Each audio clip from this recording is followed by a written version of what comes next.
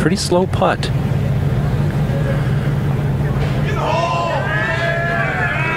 He's giving that a firm wrap. Okay, not too bad. Not too bad.